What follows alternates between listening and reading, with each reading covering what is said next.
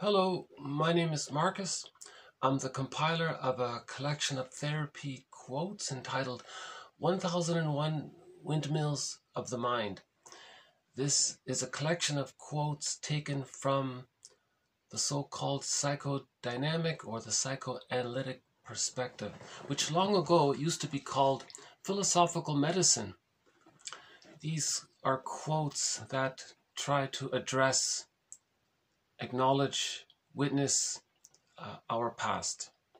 Um, we're trying to heal from memories. If there are painful memories, uh, a lot of our life force is uh, sent into those memories.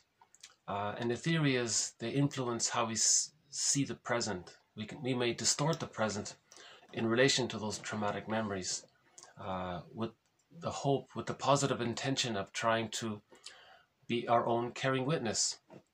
So if we project something from our past into the present, that's like creating a mirror. Right? We look in the mirror and then we have an idea about our childhood past, and then we can be our own caring witness. So these quotes are helping us to be our own caring witness. Grief is healed when it's witnessed by a caring other and these quotes are helping us with the knowledge to do so.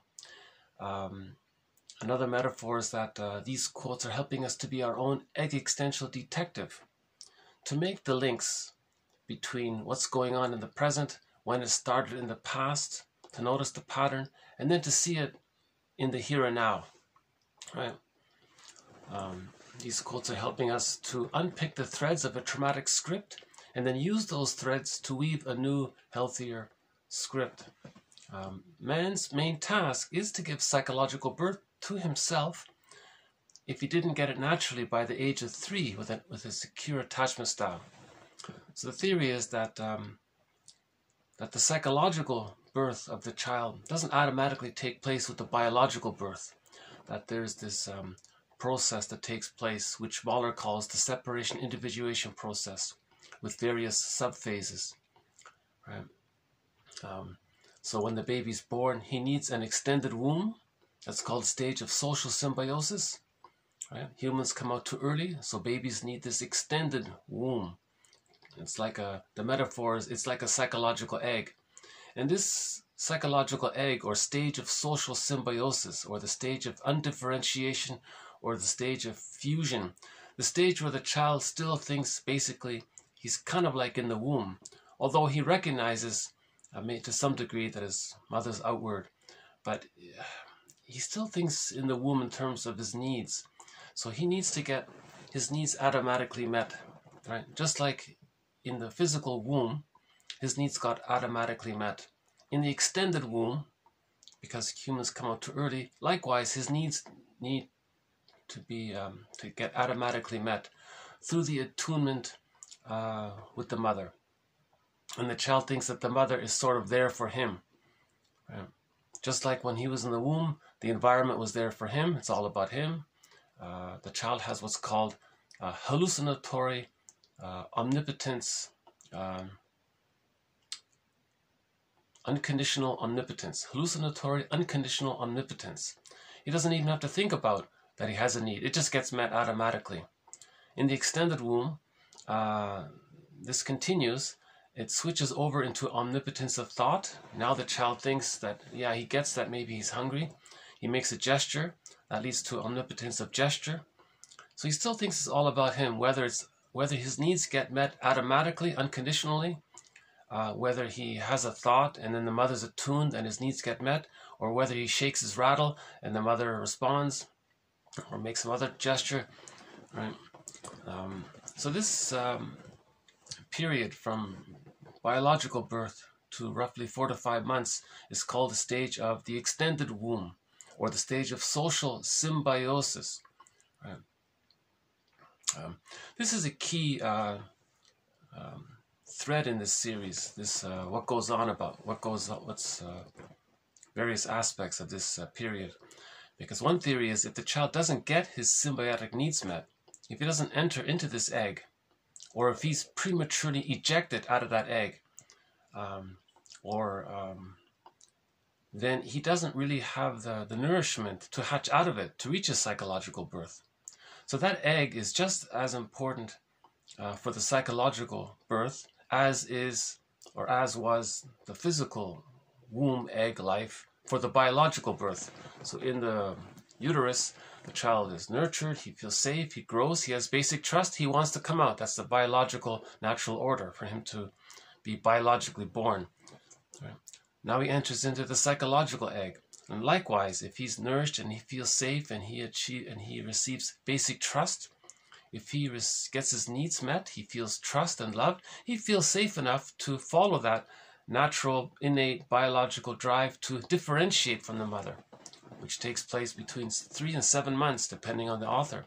Mahler says on average it's between four and five months. Right? Um, so the theory is if the child doesn't get his needs met, um, um, he can't hatch out because he didn't get his needs met. So he's he has a trauma there. Now the child will be very angry around that, and then his uh, he may grow up with what's called the hostile provocative attachment style, um, where all he thinks about is uh, he's got to get someone else to fuse with. Now, now no one can, now no, no other person in the future can be the mother and provide an optimal symbiosis, a positive symbiosis. So the person thinks, well, the next best thing is is is well, if he can get a lackey to form a, a negative symbiosis with them they don't like it, but they're afraid and they're going to be at the person's beck and call kind of thing. So, in other words, the baby would rather have a negative symbiosis with the mother and be stuck there than not have any symbiosis. Um, so, so a person with the hostile, provocative attachment style, the bully pattern, okay, their their main their life force, their philosophy in life is power and control. They want to exert power over others and have them under their control because they want to frighten the other person uh, so that they feel that they have to respond to their wishes and whims and needs because they didn't get it as a baby. So they're trying to recreate that. Now it can't be done. No per, no lackey uh, can provide uh, positive symbiosis. So he's stuck there. So, and then if the lackey leaves, he'll look for another lackey kind of thing, and he's stuck there. He he can't uh, get his positive symbiotic needs met. It's impossible. That's a one-time deal. Right? From four to from birth to four to five months, that's a one-time deal. That it can never be replicated. But the person with the bully pattern, he's trying to replicate it. He's trying to master that trauma of not getting his egg needs met. So that's sort of his positive intention. Now, Bergler says it's much better to think of it as a communication. It's a mirror. That behavior is a mirror for him to look at and see that he didn't get his symbiotic needs met. Right?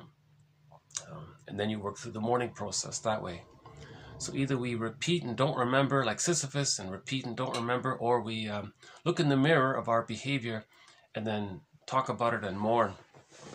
Um, so the baby needs to get his symbiotic needs met. Um, yeah, and by the way, the main philosophy of those with the hostile provocative attachment style, it's all about survival, power and control.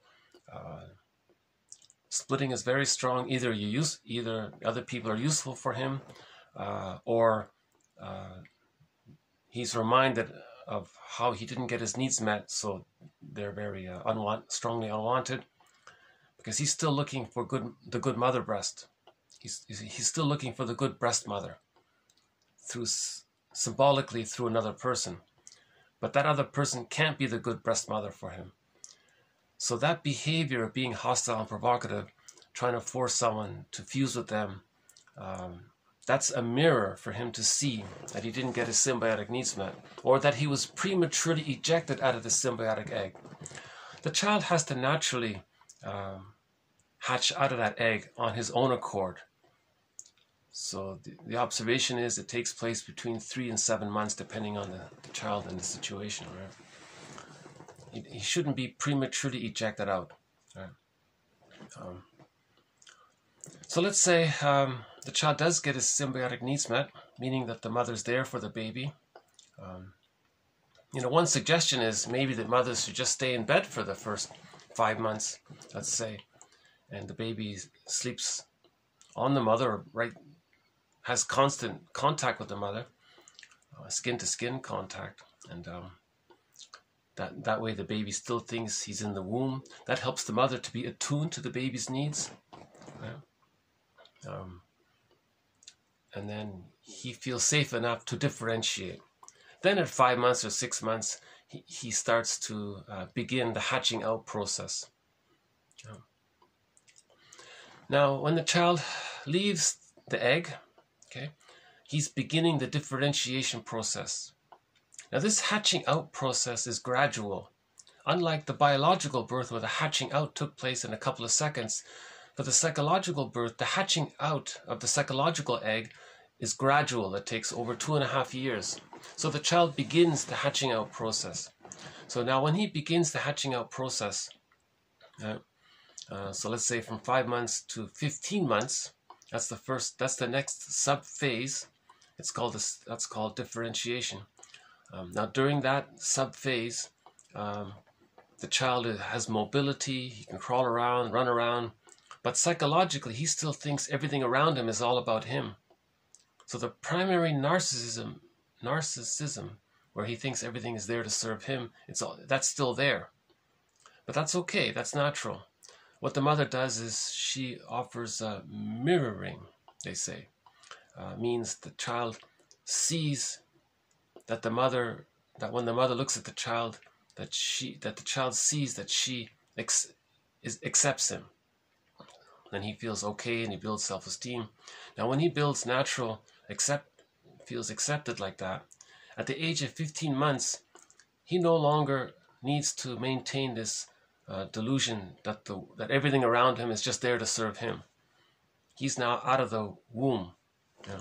So that's the, a major portion of differentiation.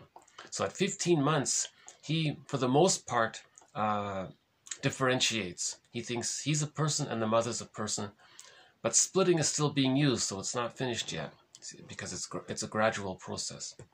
So let's say the child does get his uh, mirroring needs met, then he feels safe enough to differentiate.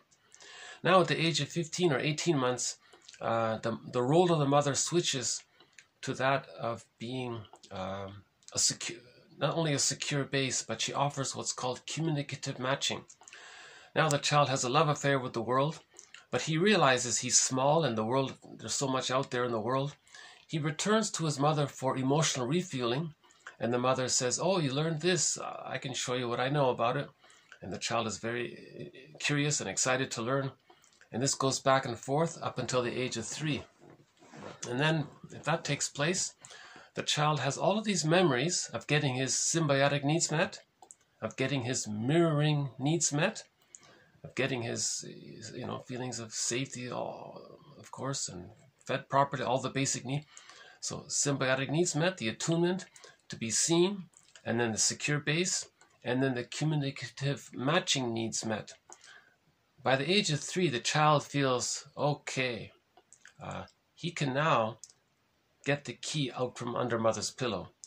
His life force, which originally was attached to the frightening side of the mother, it switches over to the image of the mother as a whole person, and then he feels safe enough to allow his life force to decathect from the other for himself. That's called a psychological birth. And when he has that uh, ontological security, sense of self, basic trust at the age of three, uh, he then has access to the real self. He feels safe enough to know his uniqueness. So there's a part of him called the real self with various capacities. So the real self allows the person to know what he likes, what his interests are, it allows him to feel that he's a little unique and he can express that, and that's meaning. That's that's his joy and pleasure.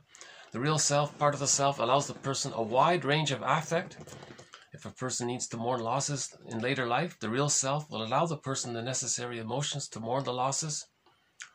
The real self allows the person aliveness of affect so he can f- feel the serene, inexhaustible fullness of being.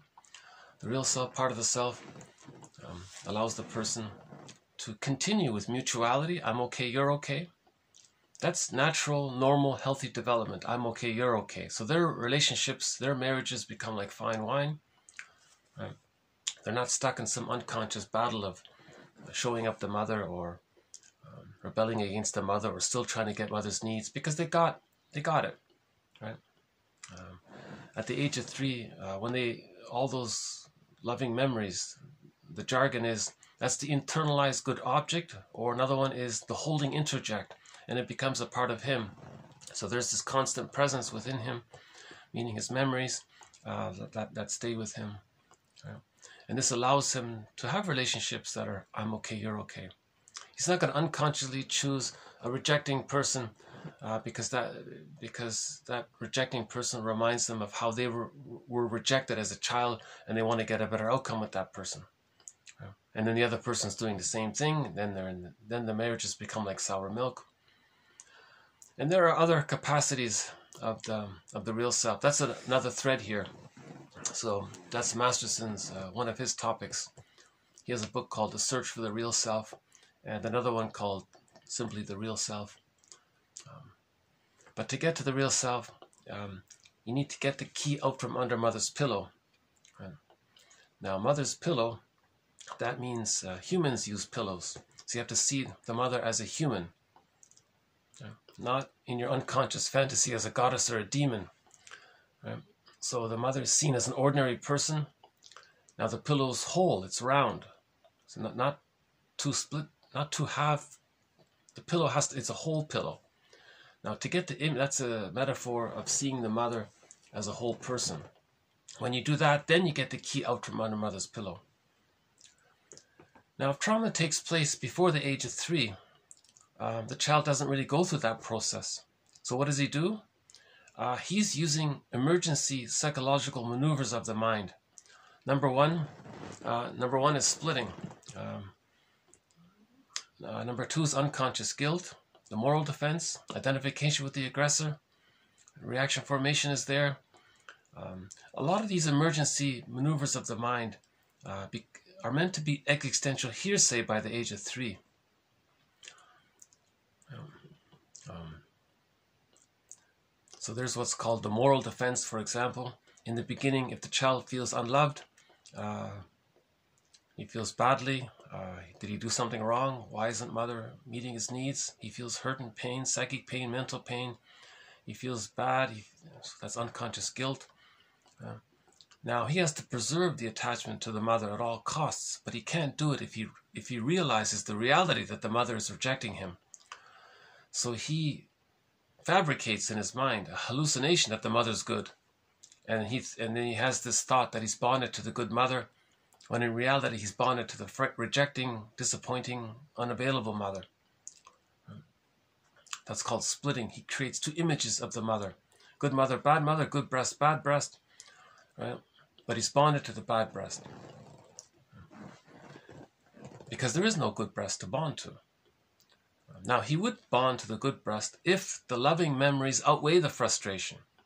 Okay? But if the frustration outweighs the love, the child can't handle that. So he, he fantasizes that he's bonded to a good mother. That's called splitting. Now, the moral defense is he makes it's as if he makes this moral decision. All right, the child thinks I'll make I'll be this little judge and think that mother's going to be the good one and I'm going to be the bad one, and that's how he gets his attachment needs met. That's a temporary device. That's a temporary maneuver. With enough love by the age of three, this all gets sorted out, and the natural development is that he's okay, mother's okay. Two differentiated people. It later on leads to what someone calls mutual uh, relating. I'm okay, you're okay relating. Um, now, if there's too much pain um, around that, the child may identify with the aggressor. If it's, he may temporarily hold on to the idea that he's not okay and mother's okay. It's a lie, but he'll hold on to that for a while. But if it's too painful, he may just identify with the aggressor and adopt his own hallucinated image of the mother being okay and adopt that attitude for himself. And then he hallucinates that he's okay And he gets some relief by that if he thinks he's okay. Uh, now, what about. Um, now, where's his true self? The true self is repressed. The true self got squelched. It's called the hungry, enraged, empty part self. Um, the despised self, the shamed self, etc. Now, when something's repressed, it's seen outward to preserve the repression. So now that child adopts the attitude that he's okay and others are not okay. But when he says that others are not okay, he's talking about himself seen outward. It's a, falsi- a falsification of reality. So he, he then thinks badly about others to communicate that when he was a child, he believed that his mother thought badly of him. Maybe the mother was just on the phone, it was innocent, but the child interprets things differently. Because of his small size, the baby has no concept of the passage of time. If the mother's on the phone and he's hungry, the baby thinks he might he's going to be abandoned. Immense anxiety, persecutory anxiety, abandonment, depression. So he creates an image of the mother as this, uh, as, uh, as some kind of frightening character out of a fairy tale or a myth. Um, so previous videos sort of elaborated on some of these ideas, but um, um so these quotes, 1001 Windmills of the Mind, um, uh, they're trying to help us to heal from some of this, right? If we're still using splitting, if we're still, uh, you see, according to where the trauma takes place, a certain personality pattern can develop. If the trauma takes place between four and five months, that's the hostile provocative attachment style. If the trauma takes place between uh, five five months and 15 months, that's the narcissistic pattern? So they devalue others to communicate that their mother devalued them and they're stuck there like Sisyphus. But when they do that, they feel triggered of the mother devaluing them. Then to communicate that they were devalued, they devalue others to communicate that they were devalued. But when they do that, they feel devalued and then and they repeat. So they're stuck like Sisyphus. So, so their main emotions are um, they're constantly trying to show up the mother. Um, one author says, that when he's doing that, he's trying to communicate to the mother in the mind look, mother in the mind, look how I'm devaluing others with my negative, put down humor. Uh, well, that's what you did to me, and I didn't like it, and I'm showing you. But he's talking to a phantom, right? So a negative memory, Lowell's metaphor, that's like a phantom or a ghost. And he's stuck there. Uh, now, if the trauma takes place between 15 months and 36 months, that's the codependent pattern. The codependent pattern got enough love to pass through the 15 or 18 month mark. But if they get stuck between 18 months and 36 months, they're still holding on to I'm not okay and others are okay.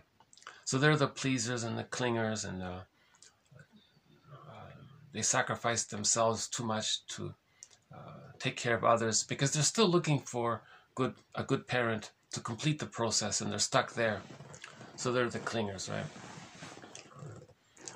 So, um, and there are other patterns, uh, personality patterns that arise out of what's called an insecure attachment style. Now, remember, one estimate is that 70% of the babies in North America are getting an insecure attachment style. Only 30%, their marriages are like fine wine, they say. Yeah.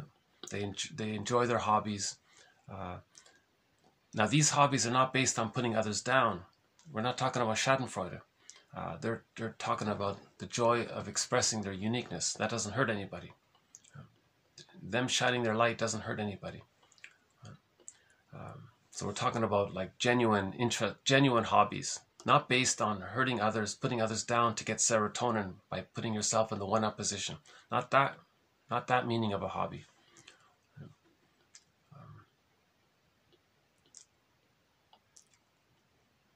In that uh, movie. Um, what was it?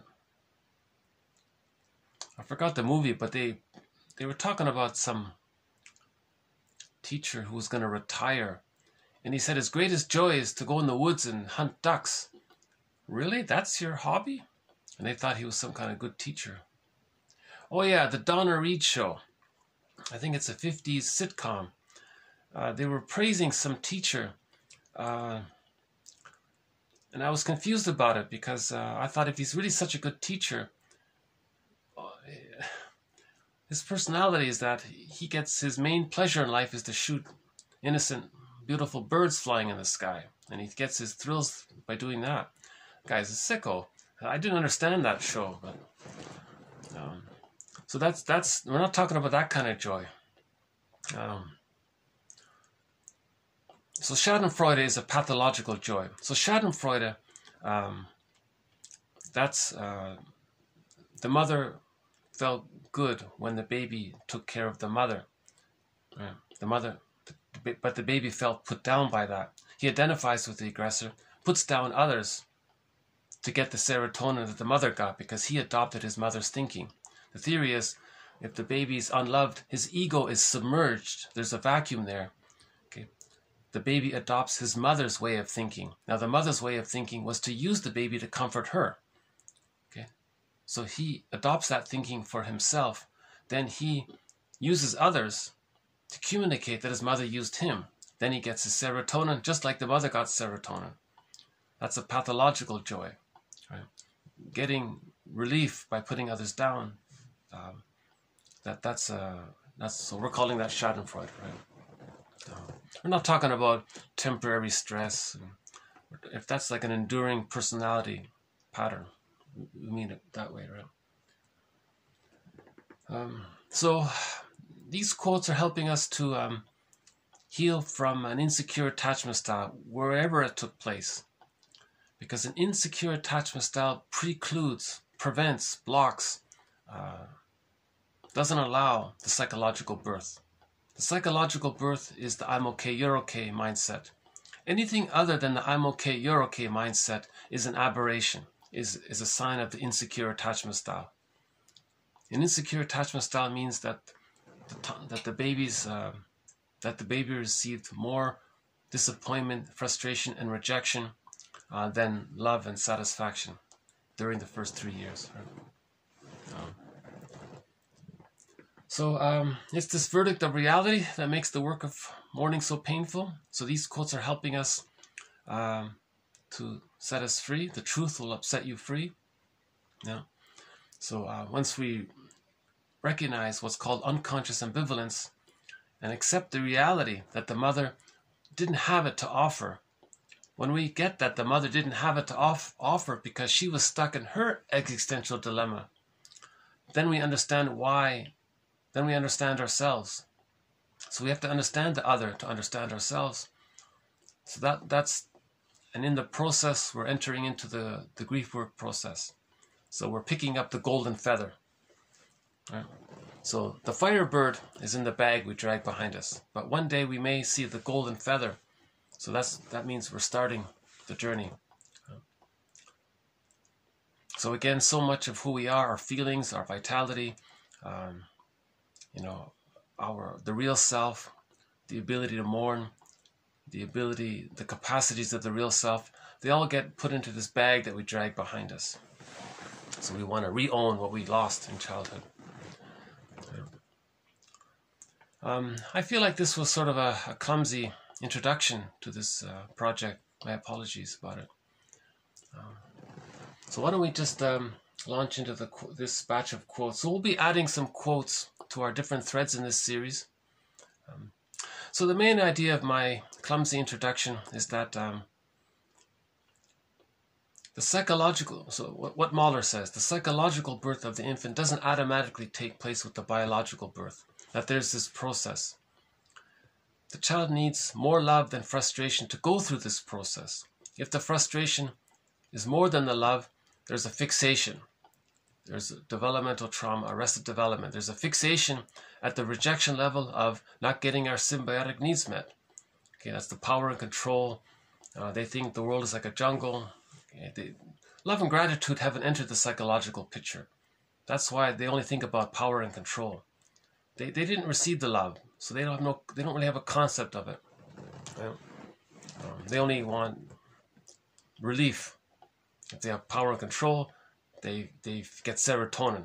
They don't have it, they feel the stress of not being loved. So that's their main MO, right?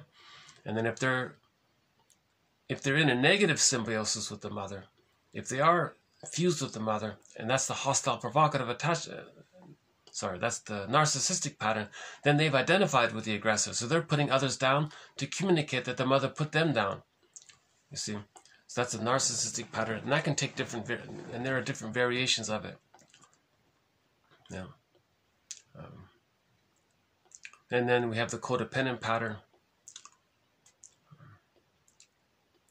So there, there's this process that we go through. If if there if the depending on where the pain outweighs the love, a fixation takes place. A fixation at the rejection level of not getting their symbiotic needs met, a fixation at the rejection level of not feeling safe enough to leave the symbiotic fusion with the mother, a fixation at not getting enough love and support uh, to complete the process.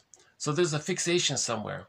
So these quotes are helping us to uh, lift the anchor, to release in, in the fairy tale Kirikou and the Sorceress, a very good uh, animation, a French animation with English. Actually, it's it's in English. The the dubbing is very good. Actually, ironically, usually the subtitles are better than the dubbing, but in this case, if you're gonna watch Kirikou and the Sorceress, I would suggest the dubbing. It's very good. In, in that uh, animation, uh, the metaphor was um, well, you can see a metaphor of it. It's, it's very vivid. So we want to lift the anchor on the arrested development, right? In the film, it's uh, the woman had a thorn, so you want to pull the thorn to find freedom. We'll play a song about emotional freedom at the end. Um, she she was very. She says she wants that freedom. Freedom, Aretha Franklin. Um, okay, so um, we're going to begin this batch of quotes from a quote from a very good comic series. So this is highly recommended. Okay. So in 1955, four comics uh, were done. There, there they are. There now, these four got bundled up into this book. Okay, so this is the complete series there, right? And there are um, three characters here.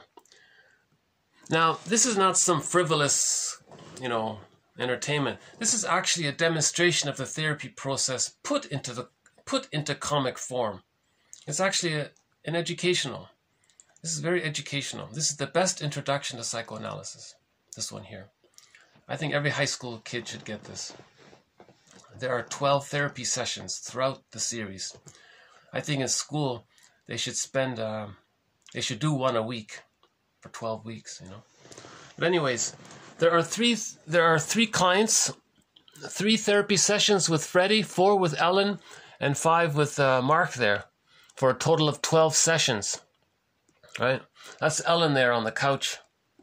So we'll start with one quote with Ellen. Right? Okay, TQ 1705. Okay, the therapist says, Can't you see that your subconscious attitude toward yourself is consciously directed at others? You blame yourself for the rejection you felt as a child. You have come to expect this rejection from everyone. You divorce yourself from people because you look down upon yourself and can't believe that they could accept you and offer you love. But you discovered in past sessions that your childhood rejection was not of your making, Ellen. That you had no control over it. That it was caused by many factors not involving you. Why continue to blame yourself or judge people today by the emotional judgments of your childhood? we have a thread in this series on unconscious guilt. So this sort of ties in with our thread on unconscious guilt. Again, we have over 30 threads in this series.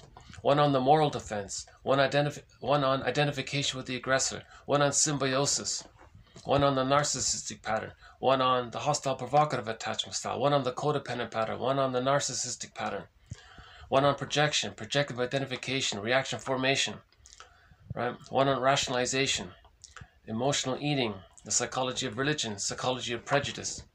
Right? Um, so we have one on unconscious guilt. So we're gonna. So this quote adds to our thread on unconscious guilt. Okay, so let's do it again here. Let's see if it shows up. How is it showing up here? Let's see. Okay, so um, so we're gonna start here, right? Hopefully you're seeing it okay. Okay. Can't you see that your subconscious attitude toward yourself is consciously directed at others? So what happens is when the child feels unloved, that's psychic pain, mental pain, emotional pain, he feels that he did something wrong, that he's no good, right? Um, so there's unconscious guilt. Now to deal with the pain of that, the person may project that. If that's repressed, he can't accept it, he sees it outwardly. So he says others are bad and no good as a defense mechanism of facing how he feels bad or no good. So Ellen would project her unconscious guilt onto others, and she thought others uh, either are no good themselves or she may project the rejecting mother onto others and expect that others will think that she's no good. So she's doing both at the same time. Right? You have, right, and as a result, right? Of course, she's going to feel angry about that, right?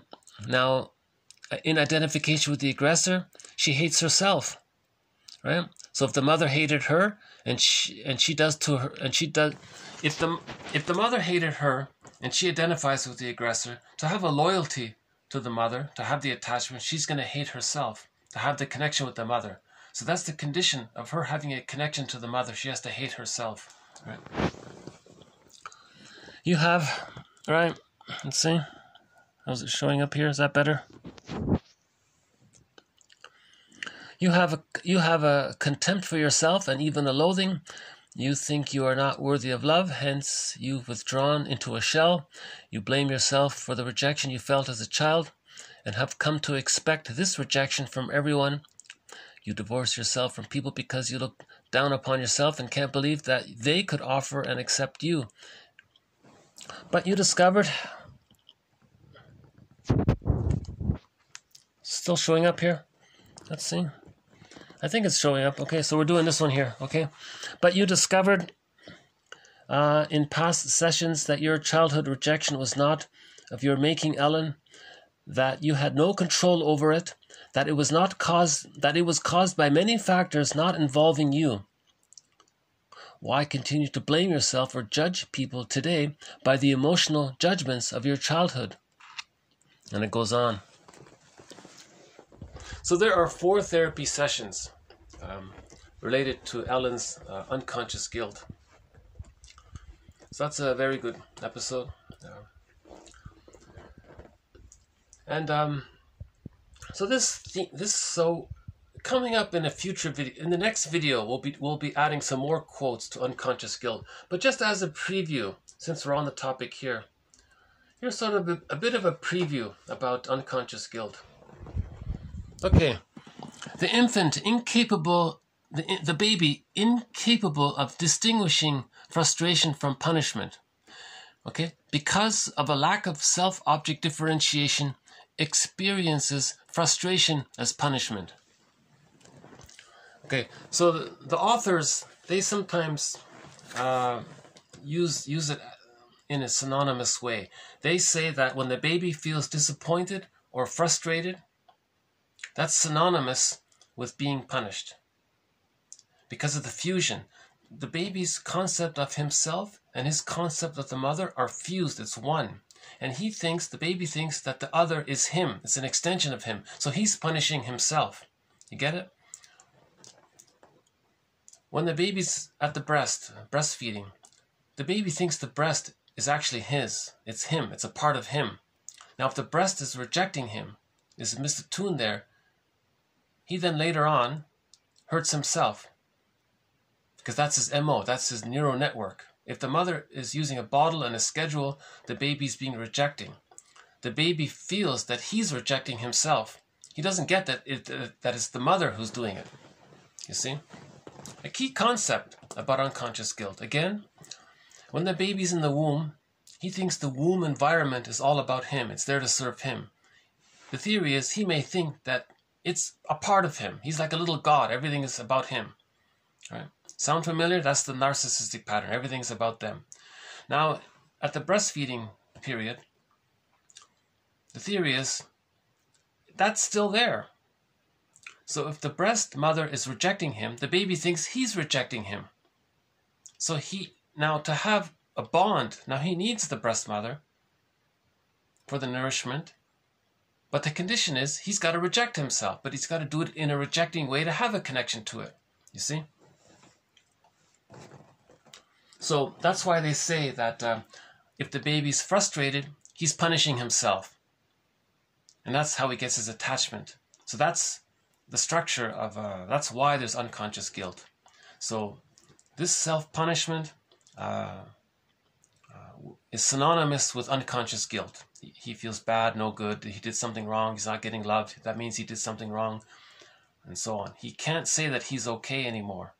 He has to say that he's not okay. Even if it means creating the hallucination that the other is okay, because he has to do that to have a connection. You see how you see there's splitting going on, the moral defense splitting. Another one here. Okay, unconscious guilt feelings seek relief through projection onto others, sometimes known as scapegoating. So Ellen, in this story here, she thought all people were. Uh, she didn't. She liked people, but she was shy. She was. She had a lot of social anxiety, but the structure of it was she unconsciously thought that they're going to be rejecting, that they're no good, and they're going to not want her. So she projected how she didn't want herself onto others. Now, when she projects this idea that she didn't want herself, it's false. She's projecting how the mother was misattuned. She got confused. She read a magazine that said, use the bottle and follow the schedule. So the mother was confused. So this wasn't Ellen's doing. You get it? This wasn't her doing. She didn't. So, it's a key concept because people have been struggling with this idea for 150 years. What is this unconscious guilt? I think this is it here. They got it in 19. This comic, this comic book answers it right here. This is an excellent comic book. Okay? So the baby thinks the breast is a part of him. If the breast is unavailable, if the breast is rejecting him, he thinks he's rejecting himself. So he's rejecting himself. So Ellen believed that others are going to reject them. Because when the, when she felt rejected by the breast, that got that the pain of that is repressed. When something's repressed, it's seen outward. It's called projection. Projection is the means of preserving the repression.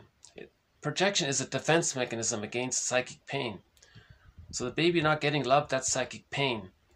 To, to, to not feel that psychic pain, they trick their mind to think that the cause of everything is all outward. It distracts them. It's outward, so it's not within. It's a distraction. It's a distraction device. So Ellen regarded others, automatically believed that others are going to reject them because she projected how she rejected herself. But when she rejected herself, it wasn't true. She didn't reject herself. An actual mother rejected her. You see? But she's projecting this confusion onto others. You see?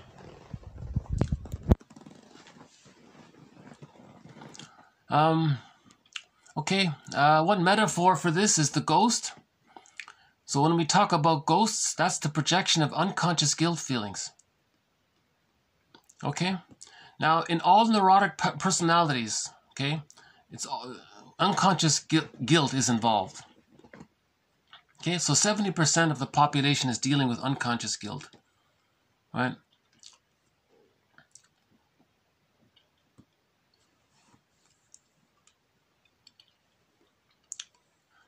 Now, to hide all of this, the person may have a very uh, rigid personality. Okay, so to maintain the repression of the unconscious guilt, the person may have a very rigid personality. Right? To, to constantly see others in a negative way. And they may be very rigid about it, but the motivation for doing that is to preserve the unconscious guilt, to preserve the painful memory of how they fake believe that they rejected themselves. They didn't reject themselves. The baby just wanted love. But he believed, he had a false belief that he rejected himself because he had a false belief that the mother, that, that the breast was hit, was him. It wasn't. But that's he had this false belief. It's, it's hard. Okay. so we'll follow. So that's a that's those quotes are for the next video. Um, okay.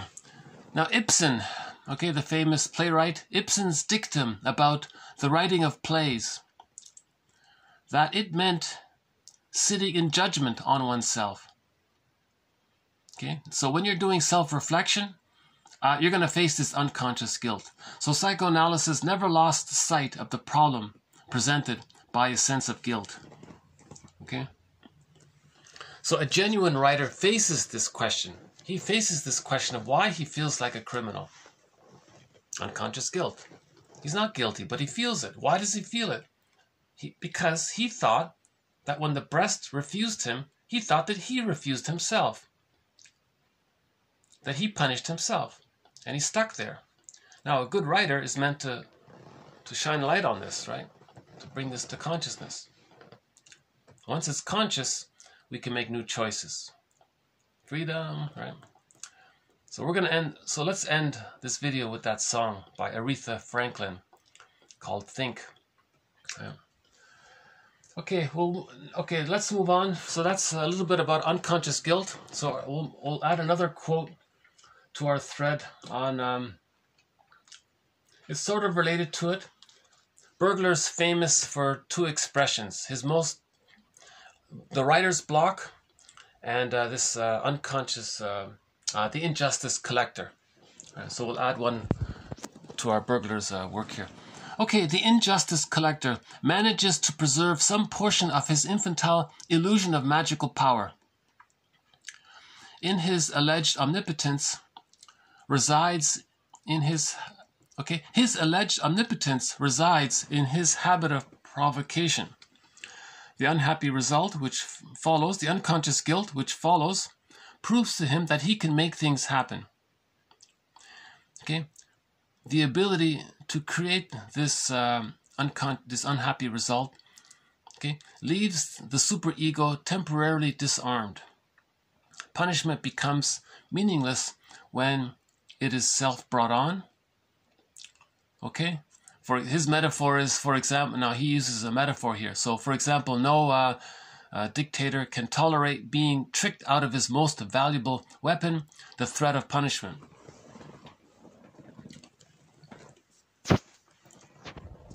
So Bergler uses this metaphor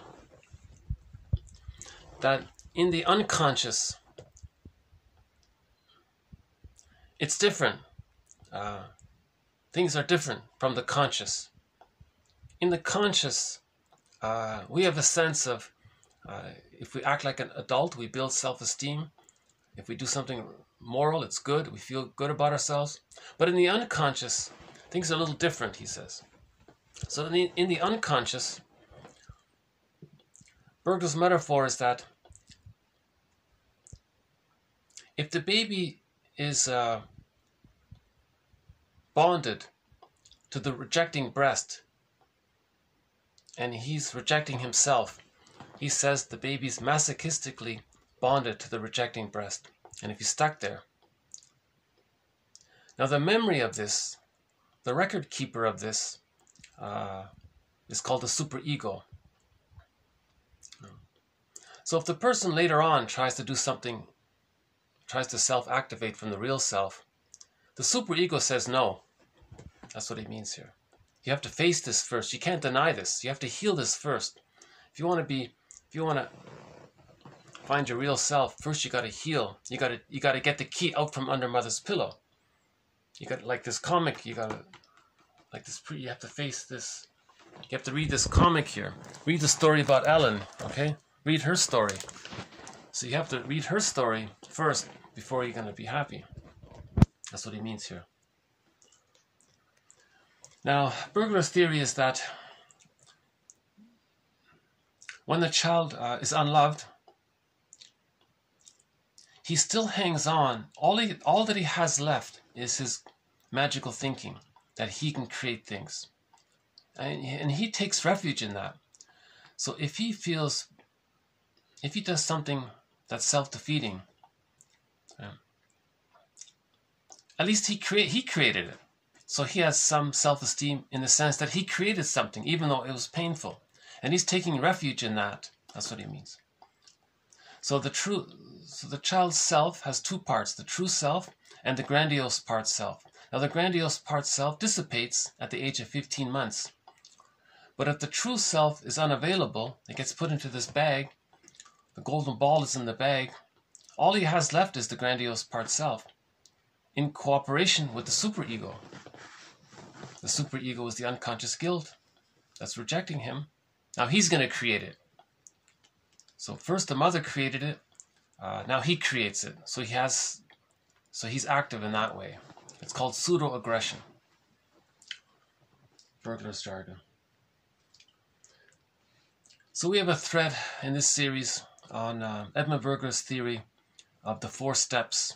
So this quote here sort of adds to it a little bit. Uh, I'm not going to redo do the whole idea here. So why don't we just uh, move on? Okay, from the TV show Judd for the Defense. Okay. Uh, it was a crime story, a legal drama. Uh, the lawyer said to, to, to the criminal, now, you committed these crimes because you had two reasons. One, to gratify your pathetic little ego. Okay, that's the, so he had no, so this guy, now you could see it, he had no true self. All he had was this uh, narcissistic entitlement. He thought he was, he was some kind of cult leader or something. All he had was this grandiose part self, right? So he commits crimes uh, to show how important he is, and he can get away with it. He's so important and he uses his advanced uh, education skills to do that, right? So he was a criminal, this guy. Now, the second reason was you're doing this to revenge yourself on this town you hate by showing them up. Okay, so this criminal projected his the bad breast mother. He projected the bad mother, the rejecting mother, onto the onto the small town that he was living in. So he regarded the whole town as his mother. Now the mother rejected him. he wants to say how bad the mother is by transferring the image of the mother onto the town. Now he wants to say how bad the town is. So he's trying to show up, he wants to prove how bad the town is. So that's why he, he was doing those things. Very insightful episode. Judd for the defense. I forgot which episode it was. It ran in the late 60s, an excellent TV drama called Judd for the Defense. Unfortunately, it's not on DVD. It's hard to find. Um, it's sometimes it gets posted on YouTube and then they pull it down. I don't know why. They, it's an excellent TV show. It's very psychologically minded, and uh, we've posted already a few quotes from that show. So we've added another one. So again, we have a thread in this series on uh, psychoanalytically minded quotes from uh, movies and TV shows. So we've just added one more here. Pseudo defense is mistaken for wishes.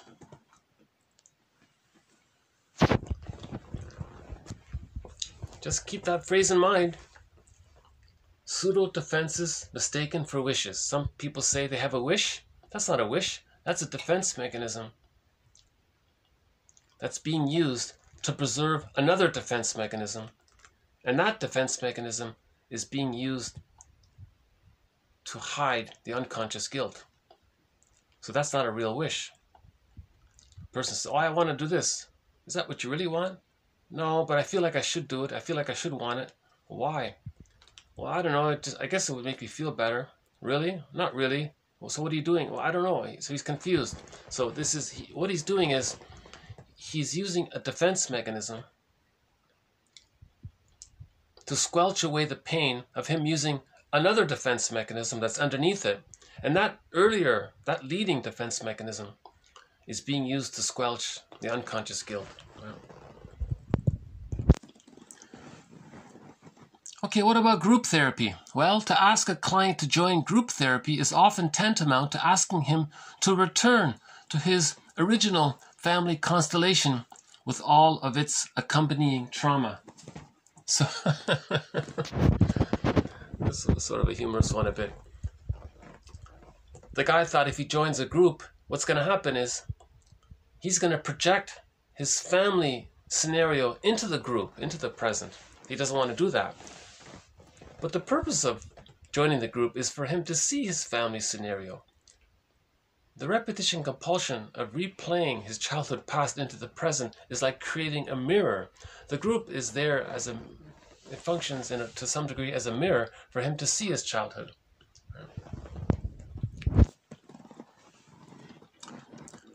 Okay, um, the manic defense.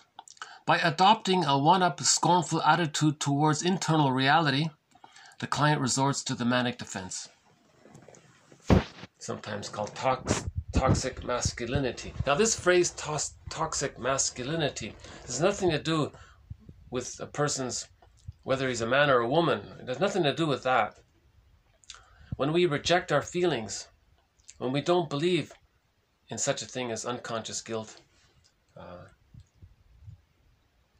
so when we reject our feelings, so anytime a person, regardless of anything else, when a when a when a Homo sapien, when a human being, when a person re- rejects their feelings, that's called toxic masculinity. Now, some women um, have it even more strongly than some men. So it has nothing to do with gender, right? So Woodman makes a point about this. Marion Woodman emphasizes this. She says some women are actually more negative patriarchal than men are, she says. She gave the example of her own therapist. She said how he was very much in touch with his feelings. And that's how she learned to become in touch with her feelings. And the therapist was a man and she was a woman. So it's nothing to do with. Um, okay, the next one here. Interpretation seeks to bring out the latent okay, the hidden, the true meaning, okay, the, the real meaning of a sub of a person's words and behavior. Its aim is to reveal unconscious desires and the defensive conflicts that are linked to them. The primary goal of interpretation is the lifting of the resistance. Okay? The cure is not the result of a premature recognition of whatever has been repressed, but, a, but occurs through a victory over the resistances as the source of this ignorance.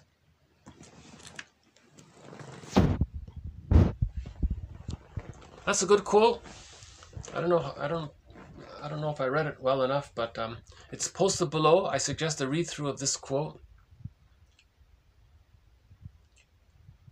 A victory over your defense mechanisms when you recognize that using them that, that you're not aware that you, when you're not a,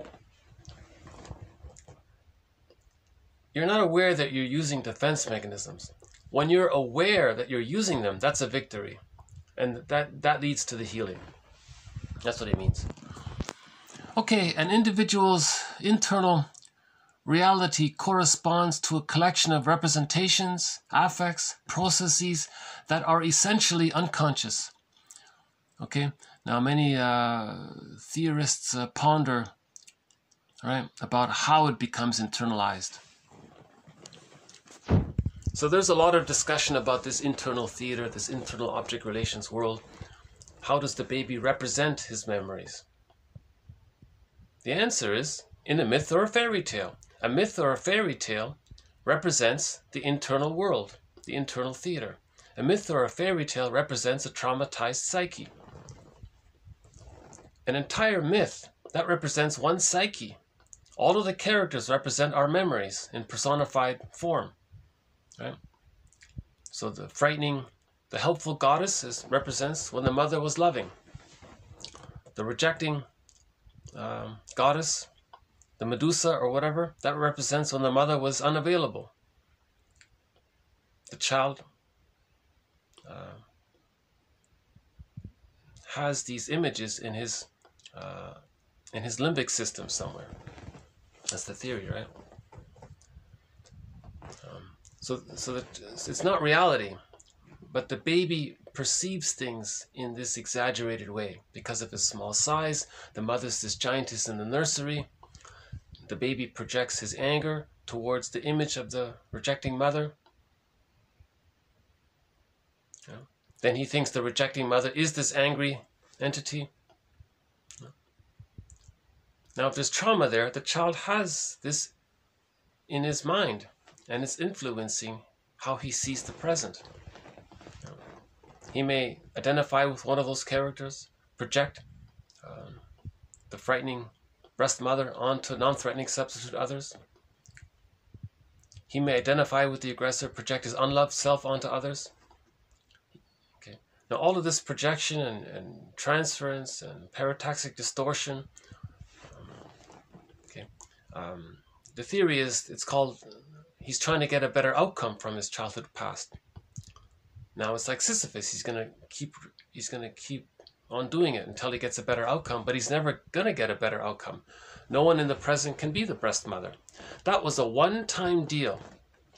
Um, just like the physical birth was a one-time deal. It can't be redone. If a person had birth trauma, we can't go back into the womb and redo it and get a better outcome for the biological. Now, for the psychological birth, the same thing. That process was a one time deal. We can't redo that. Some people try, but that you can't. But the attempt to try, that fantasy to try, that's a mirror to recognize that we didn't get the love we needed. Then you gotta understand the mother, read the Enneagram, right? and uh, understanding the mother and forgiveness are the same thing. Okay, a couple of a couple of more um, quote, quotes here. Okay, imago. Okay, so the baby creates a fantastical image of the mother. When the when the baby's fed, he thinks it's like a goddess experience. He had an he had an experience with a goddess, a beautiful, divine, super wonderful all powerful, loving being. That's his concept. When the breast is unavailable, he thinks he had an experience with Medusa. So that this unconscious fantasy, these fantasized personifications of his experiences. Again, this is pre-verbal, so baby thinks in the baby thinks in images. This is pre-verbal. It's called primary process thinking. So he has an image in his fantasy of goddess and demon. That's the imago. These images, these exaggerated images are called imagos. Okay, imago, an unconscious prototype of personae.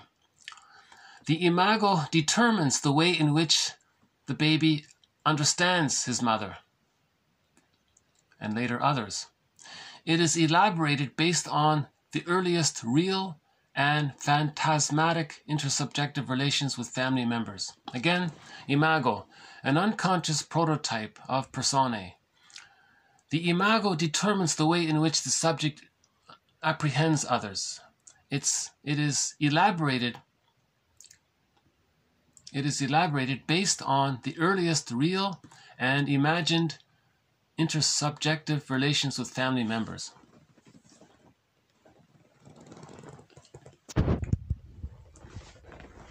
So if the mother was traumatizing early on, if she's more loving later on, it can be corrected. But the mother only has up until the age of five at the very latest, right? If the mother's, if she continues to be rejecting, the frightening image of the mother may have been one thing, but by the age of five, the frightening image may be like a Medusa. Yeah. Okay, the therapist's work is to bring forth the anxiety linked to the client's earliest imagos, thus facilitating the passage to the, to the depressive position. Okay? So we have a theory, we have a thread on Melanie Klein's theory about the positions. When the baby uses splitting, goddess and demon, that's she calls that the paranoid schizoid position. Emphasis on the word position. So splitting, um, when we bring the split images of the mother together, goddess and demon, into an ordinary human, that's called the, she calls that the depressive position, meaning the baby would feel bad if if he were to get if he were to get angry at the one he loves, he would feel sad about it. It's nothing to do with how with how it sounds. Um, but with the splitting, uh, things are very uh, immediate. This is all good, this is all bad, and that's it. The narcissistic pattern, useful, not useful, very simple. They don't deal with uh, the reality that they're bonded to to the frightening image of the mother. Love and gratitude haven't entered the psychological picture. You need to bring uh, the split images come together. When the mother is more loving than frustrating, the split images come together. When the split images come together, then we say that love and gratitude have entered the psychological picture. If he's splitting precludes that. So you want to heal the splits. Yeah. So one therapist says the goal of therapy is to heal the splits. That's what he says here. Right? The analyst's work is to bring forth the anxiety. Okay, that's called persecutory anxiety, right? Linked to the client's earliest imagos, okay, goddess and demon, right? Now, the, so the therapist is helping him in this area, thus facilitating the passage to the depressive position. Okay? So he says, this quote says, the goal of therapy is to move from the persecutory anxiety of the paranoid schizoid position and enter into the more advanced, healthy position called the depressive anxiety out of the depressive position. That means you're healing the splits. If splitting is still being used, the person never mourns losses. Splitting precludes mourning. If a person doesn't mourn losses because of the splitting, splitting preclude splitting prevents um, mourning. Maybe I should just take like a little break here. Hold on a sec. Let's see. You want to see the outside here? Okay, a little rain here. Cloudy day. Yeah.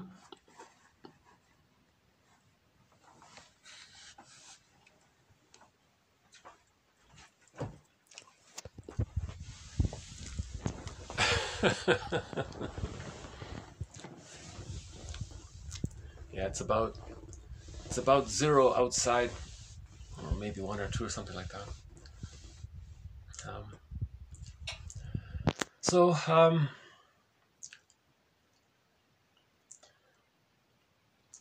Yeah, so splitting precludes mourning. If a person doesn't mourn losses, that can lead to complicated grief, aggravated grief, chronic sorrow, pathological uh, nostalgia, melancholia. It can lead to the symptoms of PTSD. And it can lead to, as one person said, to becoming a curmudgeon late in life. Uh, so the curmudgeon, very miserly, very bitter, stingy, like the Scrooge, you know. Not an elder, not serving, not contributing, not building. He's just in battle with the mother all the time. He's angry at the mother the whole time. And his, and his anger at the world, uh, that's him trying to communicate how he's angry at the mother. You know. And, he, and he regards others as being the refusing mother. He puts others, he's rude towards others to communicate that, that his mother was rude towards him and he's angry about it. Now, when he does that, he re-triggers, he hurts himself because of the fusion, the first, the early quote there. Uh, tomorrow's quote, briefly mentioned at the beginning of this video about the fusion, undifferentiation. So when he, when he is rude towards others, he autom- he's automatically rude towards himself because of the psychic fusion. It's psychic reality we're talking about. See? So when he hurts others, he hurts himself in his emotionality. Now, now he's angry at that. He's angry that his mother hurted him, that, that, is, that he hurt himself. At the same time, his mother hurt him because he is the mother. So he hurts others to communicate that, but when he does that, he hurts himself. Now, if he spends his whole life doing that, he's going to become a curmudgeon, uh, not an elder. So splitting precludes mourning. This masochistic attachment to the refusing mother precludes mourning. This fusion with the mother, being identification with the aggressor, okay, being the mother, this tar pit of the negative symbiosis, okay, that's, yeah, that, all of that precludes mourning. Okay, the next one here.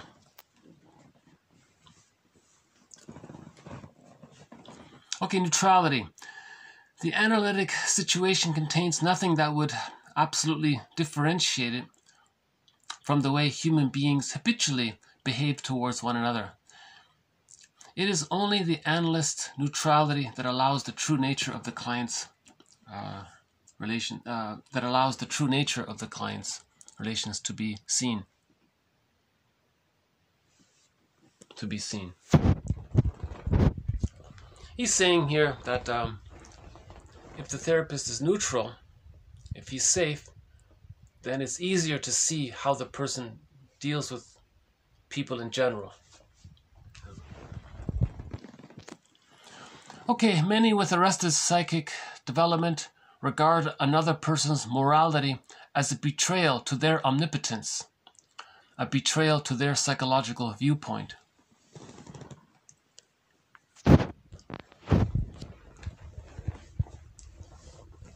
Okay, so if the person has arrested development, he's going to think in us and them terms. If another if another person thinks in I'm okay, you're okay terms, uh, he thinks that that other person uh, is not is not mirroring him. Therefore, he feels betrayed. So, ironically, the, the more wounded person who thinks I'm okay, you're not okay, or I'm not okay, you're okay, or I'm not okay, you're not okay, one of these aberrations, if he sees someone who thinks in the healthy way, he thinks the healthy person is is uh, is betraying him because he's only looking for mirroring. Um, okay, the superego is not only autonomous, but is set far above the rest of the ego, hence its name. Yeah, so why do we call it the superego? So the ego is our consciousness. The superego is the unconscious guilt, the memory, the unconscious conscience. It has like a mind of its own. Right? So that's what he means. It's a, it's an it's another ego. So the superego is another ego, but it's more powerful than our conscious little ego in particular when there's trauma. The more trauma there is, the, the more the superego is. Now, the superego is all about um, the fusion with the rejecting mother. He's waiting for mother's love, but he's not getting it. So the superego says, that's that. That's the superego. Still waiting for mother's love. The baby needs love to leave her. He, so the baby's in a catch 22. He's, he's stuck with the mother who's not loving him. He needs her love to leave her, but he's not getting it. So he, he's stuck there. So that's similar to the double bind. If he leaves the mother, he's going to face the furies. That's the metaphor for the persecutory anxiety. So Orestes faced the furies, so he did it. So he's our hero, a Roma, a true hero. He faced the persecutory anxiety. He faced the furies, right? And he succeeded. Yeah. But but generally speaking, uh, the double bind is if he wants to be if he wants to leave the mother, he feels that he can't. Too, there's too much anxiety around it. But if he stays with the mother, he's being impinged upon, engulfed. Now, if he leaves the mother, he feels abandoned and the persecutory anxiety. So if he, he's damned if he does, if he, he's damned if he doesn't. So if he leaves the mother, he feels scared. If he stays with the mother, he feels hurt. So he's in a so he's in a catch 22. He's in a double bind because of the catch 22. The catch 22 creates the double bind. Put it that way. The catch 22 creates the double bind. Um, okay, hypomania is a defense against unconscious guilt. Okay. Did you really expect the conscious and the unconscious to be identical? So, Bergler is a metaphor. Uh, his analogy is imagine that it were possible for you to visit another planet where beings similar to humans dwelt. Would you be astonished if the indigenous people of that planet refused to take your dollar bills in payment for their goods? Okay.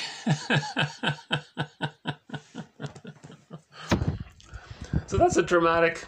That, that's that's that's a pretty good analogy. So let's say humans discover a planet out there, and there are um, people who look like Homo sapiens. Let's say, and let's say, hey, you guys, uh, we'll give you some of our uh, bills here that we have in our pocket, and you give us some of the stuff that you have on your planet. so obviously they're not going to recognize it. So that's his metaphor. The unconscious currency and the conscious currency or the, the conscious thinking, the conscious values, and the unconscious thinking and the unconscious values are different. That's what he means. Different worlds. We live in two worlds. Okay, owing to unconscious guilt, mothers who adopt the Jocasta style of mothering must have constant reassurance that they are good mothers, not bad as they fear. Yeah, so the mother who adopts the Jocasta style of mothering, meaning she parentifies the child, meaning she uses the child to comfort her, she must feel badly about it. But what if she can coax the child to say, hey, look, on Mother's Day, you have to give me a t-shirt that says that I'm the world's greatest mother. Eh, that, that eases her unconscious guilt. Okay, uh, the next one here. In marriage, scenes from the family are reenacted over and over in an effort to resolve or complete what was left unfinished from childhood. Okay, repetition compulsion. Quote, I can understand why you would think, feel, or do that coming from where you are. Okay, so if you're coming from the point of view of trying to replay your childhood scene in the present, then I can understand why you think, feel, and behave this way. That's what he means. Okay, the religious one. So we'll end up um, with two quotes on our thread on the psychology of religion. Now, this series is not about the sociological aspects, uh, with the exception of our thread on the psychology of uh, prejudice. So, the psychology of prejudice, uh, for the most part, comes from the internal dynamics of the trauma. When there's repression, there's projection. When there's projection, uh, there's prejudice. Then there's rationalizations. Then there's negative magic gesture, doing to others to communicate what was done to you. So prejudice can come from these areas. But uh, we have a quote. Um, we had a quote uh, a while ago where he said that you're being too one sided. What about the sociological side? So then, okay, so we'll briefly, so we briefly created a sub thread on the sociological side um, the sociological factors that lead to prejudice. So within this sociological thread, we've we've talked about already about the transition um, that happened 10,000 years ago with the birth of farming and agriculture, with the serotonin and the dopamine. Um, so I won't go over it here again. But the theory is that 10,000 years ago, uh, we created um, the prejudiced personality in order to pillage out of the panic of not getting out of the weather problems. So out of out of climate, uh, we panicked. Out of the panic, we decided to pillage. In order to pillage, we have to create the prejudiced personality. How do you create the prejudiced personality? Well, you suffer the children. That's what they said. You you traumatize the babies. You you separate them from the mother when they're born. They're traumatized, so they're going to think that they're okay and others are not okay. Now, if they have that attitude, it's easy for them to have an us them attitude, and then uh, then you get others to uh, to do all the work. Okay? So poverty is man-made. Um, out of the panic, uh, to to plunder, out of the panic from the weather, because we got so much serotonin with the birth of farming. Um, I don't want to go over the whole thing here. So one sociological factor is that something changed 10,000 years ago. We create an economic model called global pillage. But to do it, we need the prejudiced personality. Now, how do you create the prejudiced personality? Then we invented religion. Religion promotes repression. So that's a sociological factor to prejudice. Religion promotes prejudice because it promotes repression. So we'll add one more quote to it. Okay. Okay, religion is made so as to wipe out vices, so they say. But in reality, it covers them up, it nourishes them, and it incites them. So I wanted to add this one here to um, TQ, an earlier quote. I want to update an earlier quote. Um, TQ uh, 1203. So 12 I'm going to update 1203 here about religion. Okay. Okay, regarding religion. Okay, quote, religion is for those who are afraid of unconscious guilt. Okay? Spirituality is for those who face it. Okay, the purpose of religion is to prevent you from having um, a spiritual experience. The purpose of religion is to prevent you from healing, right? Religion is regarded uh, by the people as true and by the rulers as useful. Okay? So there it is there by Seneca, some ancient Roman guy, I guess, right? Religion is a tool for pillage because religion promotes uh, repression. When there's repression, you're going to project your unconscious guilt onto others and say, oh, how others are no good. That creates the us and them. So religion does that. Religion is the is the is is the means of creating the psychological uh, phenomena of the prejudiced personality. Religion wants to create prejudice in order to pillage. Right? So that's why he said it's useful. Religion is an insult to human dignity. Okay, so we're talking about the perpetrators. Now, the victims of religion, uh, they're going to use religion for rescue fantasy. So that's understandable. If they're suffering and uh, billions of people live on $60 a day, uh, they're suffering. So they may use religion uh, at, for the rescue fantasy of being reunited with the good mother. Uh, so, so inventing a good mother and projecting it onto the sky uh, and then, so they're they're using religion as a defense mechanism uh, to comfort themselves. So it's sort of understandable on the victim side, but the perpetrators are using it uh, to create poverty, to get them to do the all of the work. Right? But in general, religion is an insult to human dignity. With or without it, you'd have loved people doing good things and unloved people doing bad things. But for good people to do bad things, it takes religion. Okay? So let's say a baby is loved, but then he's sent into the school system and then into the religious system. It can condition him to think in us versus them, in a us versus them way. Now, the poor child is shaking his head. What are you talking about? Uh, he feels loved. Others are loved. He's okay. Others are okay. But he's being conditioned. He's being brainwashed to think that no, he's okay and others are not okay.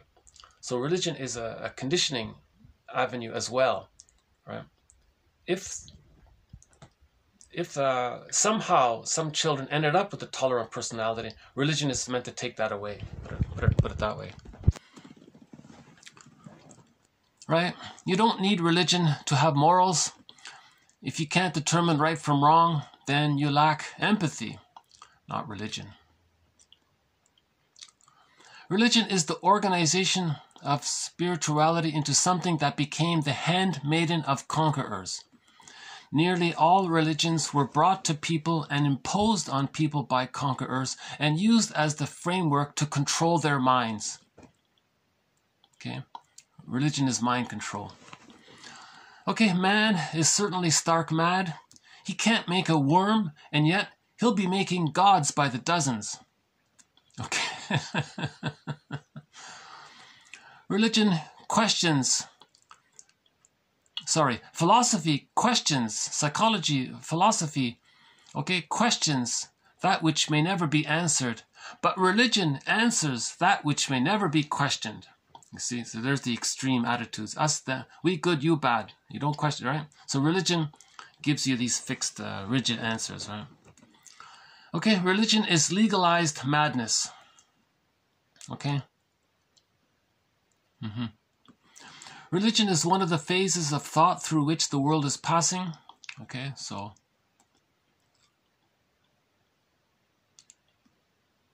Right. So when humans, when Homo sapiens grow up, grow up, they'll will will go back to spirituality.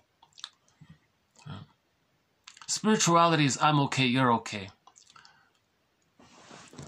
See, religion, despite what they may say, religion doesn't promote I'm okay, you're okay. They may proclaim it, but they're promoting repression. The effect of religion is I'm not okay, I'm okay, you're not okay, or I'm not okay, you're not okay. Religion is to promote splitting. Okay? This to have the effect of splitting. Never mind what they superficially say.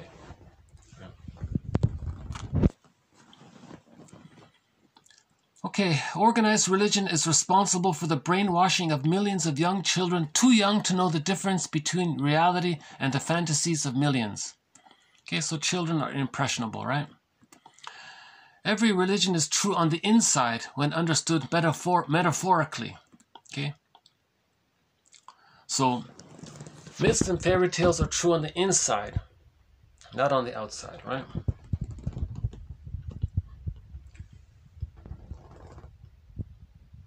Okay? But we get stuck with our own metaphors, confusing them as facts, right?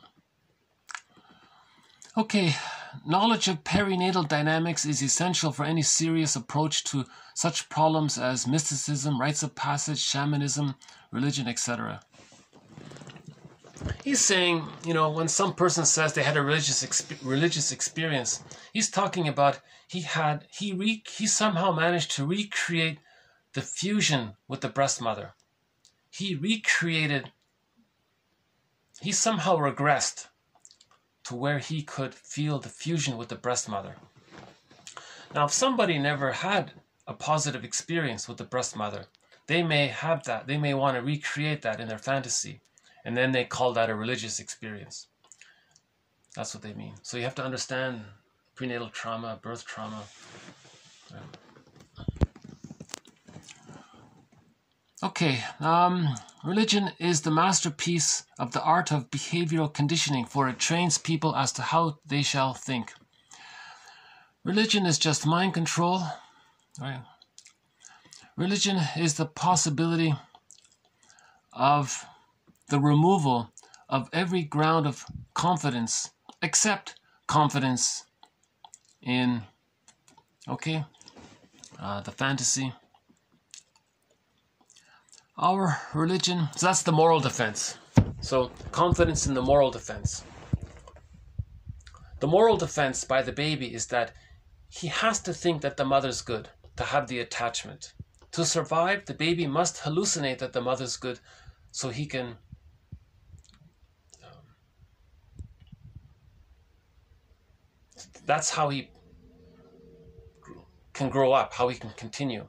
If the baby were to accept the reality that the mother's rejecting and unloving, he couldn't he couldn't handle that anxiety. So the moral defense, all defense mechanisms deal with anxiety. The moral defense, religion is a defense mechanism. Religion is a defense mechanism. So you create this fantasy that there's some super divine being that's all good. That's a replay of the baby needing to think that the mother's all good to, to survive, right? Because, in other words, the moral defense and religion have a lot in common. Okay, um, religion is a crutch that is shackled to you, one you never really needed in the first place, but were convinced by others that you couldn't live without it.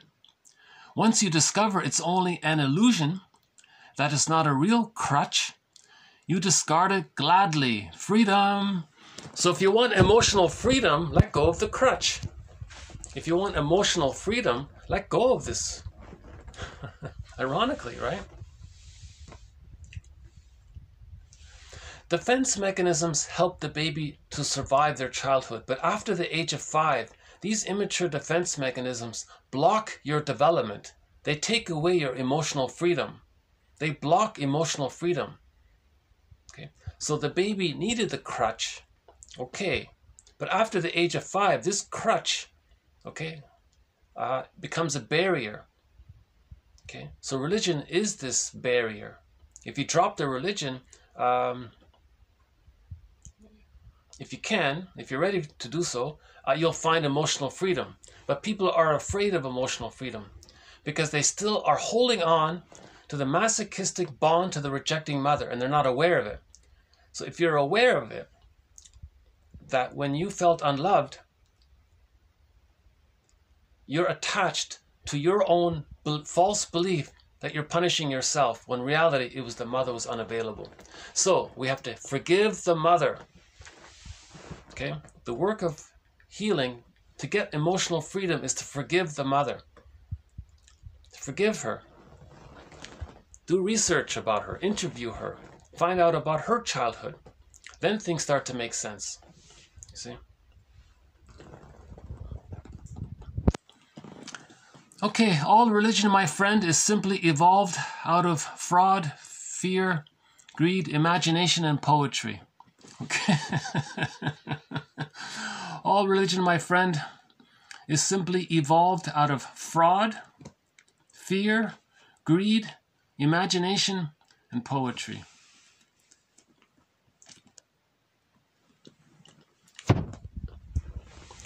Maybe I'll just take another little stretch here. How's the How's it outside here? Yeah. Okay. It's clearing up a little bit.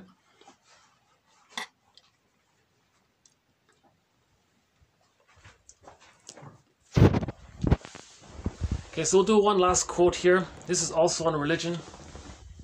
Um, people are not going to like this one, but um,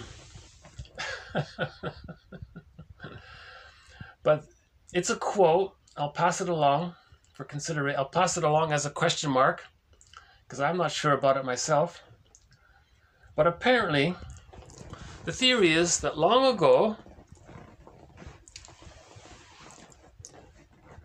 long ago, for thousands of years, people believed that the winter solstice, that term means the sun stands still. People long ago believed that the shortest day, um, it was blurred for them. They thought, geez, the shortest day is really four days, from the 21st to the 24th. They thought it was just the sun stood still. They didn't have the scientific knowledge about the, the tilt of the, the, the axis and how far it is from the sun, and they didn't know these things too well. So for thousands of years, people thought that the days began to become longer. The sun was out for a longer period of time. That began on the 25th. So the 25th of December uh, was the day uh, when the sun uh, started to reemerge. The days were longer.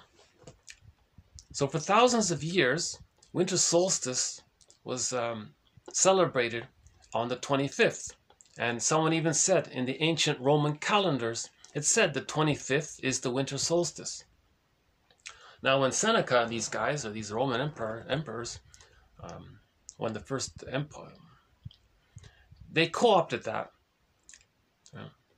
when they invented religion and they associated themselves with gods. So they co-opted themselves. Remember, they thought they were gods, remember? So they co-opted that day as their day. And the coins had pictures of them and the sun and things. I don't know the details about it, but um, but for thousands of years, people thought that winter solstice was December 25th. Now we know it's the December 21st. But they thought it was from the 21st um, um, to the 24th. Yeah. So, ironically, um, if you want to celebrate the new sun, the rise of the new sun, you should you should do it on the 22nd, according to this, right? But they didn't know that. They they thought the sun stood still. That's what that's what the term means. The sun stands still from the 21st to the 24th. They didn't see that they didn't recognize. They couldn't time it. Is it an ex? Is the sun up for an extra minute or two minutes? And what about on this day? That seems the same. They couldn't tell, so they thought the sun stood still for those four days. Now it's like two minutes. On the twenty first, on the twenty second, it's an extra two minutes. They say, and then on the twenty third, another two minutes, and so on. So the sun, so the sun started to rise. Um, right? On the 20, uh, on the 5th, they thought. Right? So religion is the co-opting of winter solstice, put it that way. Okay, so here's the quote. The 25th of December is, as we know, the day of the winter solstice. Now this quote is a lot. This is an old, old. This this guy was writing over a hundred years ago. So maybe a hundred years ago, a lot of people thought that as well. I'm not sure. Okay, um, the shortest day is past, and the sun seems, as it were, to be new. So this day, this Natalis Solis Invinci, okay, new sun invincible, right, is the birthday of the unconquered one, the sun. Okay, the sun is, uh, you, you can't conquer the sun. It's always going to come up on the 25th. So he means the seeming appearance or quote birth of a new sun.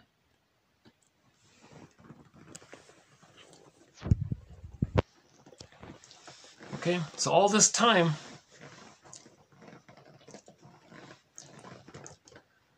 okay, I won't comment more on it, um, but something to think about let's let's put it this way. Let's let's do some more research about winter solstice.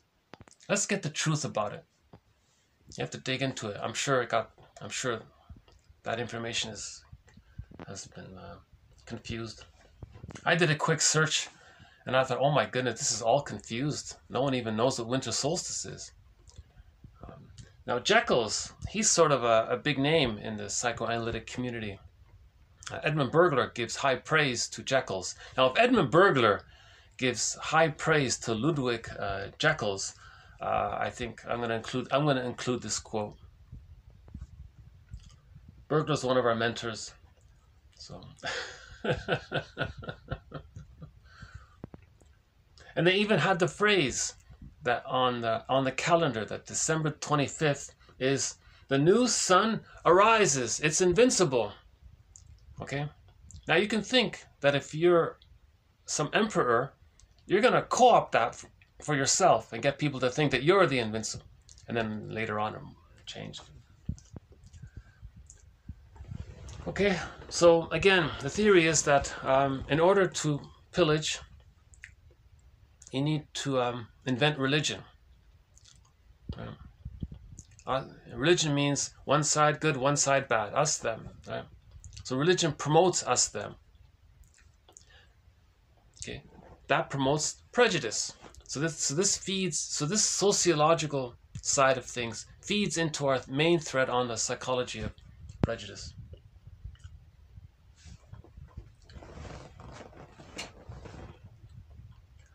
I feel I have mixed feelings about this last one here. That's why I saved it to the end. So I'll have to update that one.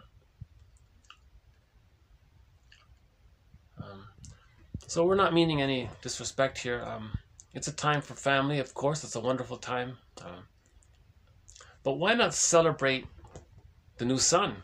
Why not just celebrate, you know, or why not celebrate the family get together? Why not celebrate the family and the time together with the with the family? Why why why use that day to promote prejudice? You know, or why use that day? Because the rescue fantasy, okay, the rescue fantasy. Yeah, you know, co-opting, confusing the rising of the sun uh, and mixing that in with some rescue fantasy. So use so creating the rescue fantasy. That means you're not being aware that you're using the rescue fantasy. You're not being aware of what it means to use the rescue fantasy. Okay? What it means to use the rescue fantasy means you're not aware of unconscious guilt. Now, when you're not aware of unconscious, so the rescue fantasy makes you unaware of unconscious guilt. Now, if you're unaware of unconscious guilt, you're going to be unaware of psychodynamics, of projection, and so on. And projection leads to prejudice. So the rescue fantasy promotes prejudice, ironically. And then the victims, right? They think, wait a minute. They think they think they're good and we're not okay. We're not okay. Well, they're gonna of course say, well, we're okay. But them thinking but them thinking we're not okay, well, there's something wrong with them and see how it snowballs. So the victims are to say, well, we're okay, and I guess there's something wrong with them. Well, they're not okay. And then it snowballs. Then see, so religion promotes splitting. You see? So that's the idea around that. Okay, I promised you a song about emotional freedom. So um everybody knows this song, but uh so the song Aretha Franklin called Think. She says here, Hey, uh, boyfriend, I'd like you to think. I want you to free associate. Let your mind go. Right? Meaning, um, just speak freely. Speak what comes to mind. Let yourself be free. S- speak freely. Okay? Now, let's go back. Let's go way on back to when you couldn't have been much more than 10. Now, I ain't no psychiatrist, okay? but it don't take too many high IQs to see what you're doing to me. Okay? So this song, the wife, so the girlfriend is saying to her boyfriend, Look, boyfriend, could you do some self reflection? Could you do some free association? I'd like you to think. Pause and think. Free associate. Let your mind go. What you're saying this. What does that remind you of? Now you're saying this. What does this remind you of? Take it back to when you were 10. Aha! Something happened when you were 10, when you were a child. Now, now I'm not a therapist. I'm not skilled in this, but I can see that you're projecting something from your past into the present, and you're restricting me. You're you're frightening me. Now I want emotional freedom. Now, if you withdraw your projection, if you withdraw the transference, if you own the projection, then I'll feel freer in this relationship and I'll have freedom. Now that's what she means, I think. Right? If you if you think about the context of this again, think, let your mind go. Let yourself be free. Let's go way on back when you couldn't have been too much more than 10. Now, I ain't no psychiatrist. It don't take too much high IQs to see what you're doing to me. Okay? So, the guy is blaming her for something. The guy is projecting or seeing um, his uh, difficult mother onto his girlfriend. That's what he's doing to her. And she wants freedom from this. She wants emotional freedom from this. Okay. So I thought I thought this would be a good song to add to our collection here.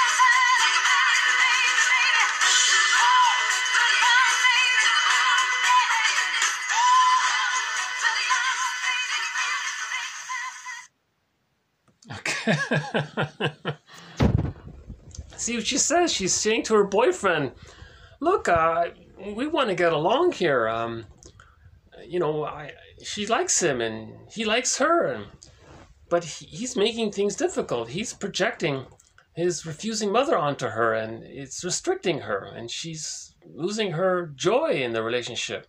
She wants freedom to freedom to love the guy." So he, he, she's encouraging him to think, to free associate. Take it back to when you were a child. What happened when you were a child?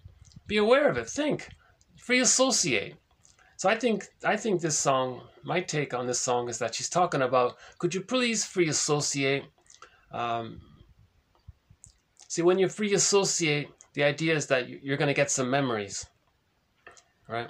If you feel safe and you free associate, you're going to get some memories oh, I learned this and I'm stuck there and I'm trying to get a better outcome. So I'm transferring that past pain into the present. Now the girlfriend says, Look, I'm not your bad mother. I wasn't there when you were 10. She even says it in the line there. I wasn't there when you were 10. It wasn't me that was there. Right? She even, I think she says it there. Yeah. Let's try again.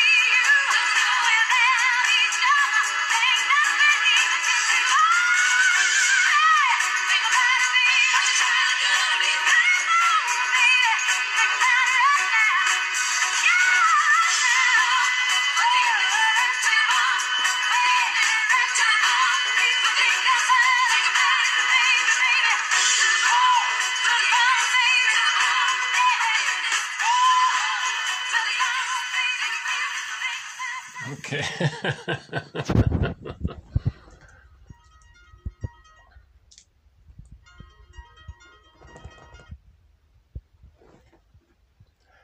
and um, you know, um, I looked it up. Um, the background singers, two of them are her sisters, but one of them is um, Whitney Houston's mother. Is one of the background singers. I didn't know about her. So I did a quick search. She, she passed away this month. And then no, nobody reported it. So I thought, um, why don't we play one of her songs? Uh, so this is Whitney Houston's mother, uh, a good singer in her own right.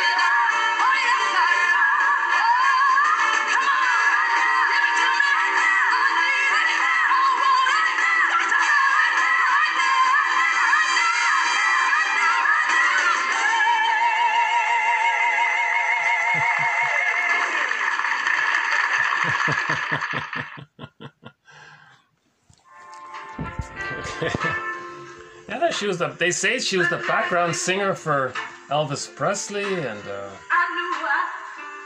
and her her daughter, of course, and uh, for Aretha Franklin and a lot of big names. Uh, Dionne War- Warwick. Um, so I thought um, on the theme of songs, um, I'll play one more.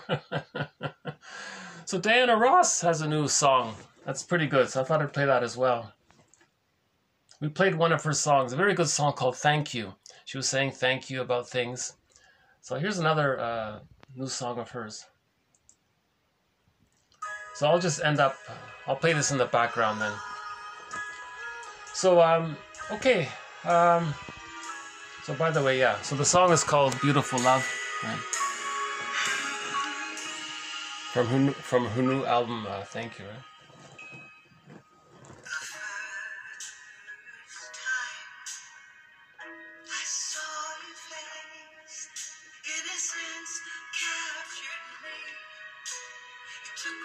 Okay, so thanks very much. This has been TQ1705 to um, 1725.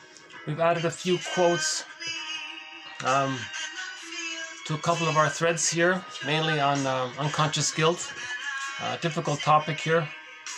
Um, Ibsen's dictum. If you're writing, you're going to face some of this stuff, right? Bergler says that. A true writer faces his unconscious guilt. Bergler says a lot of writers use writing as a defense mechanism to not face their unconscious guilt. He calls these writers, you know, mediocre writers. Um, he calls them hacks, I think. Um, and those writers who are using writing as a defense mechanism, sometimes they get blocked because it's coming up. Bergler says um, to them, Well, I'm going to tell you why the block is there so you'll get your freedom. What you do with it is up to you, of course. And then some writers think, oh, that's what the block is about. Then his writing becomes more deeper and richer if he goes that way, right? If he picks up the golden feather. Right? Now, some writers uh, don't want to go back to the old way, so they give up writing and they can't they can't face it. Right?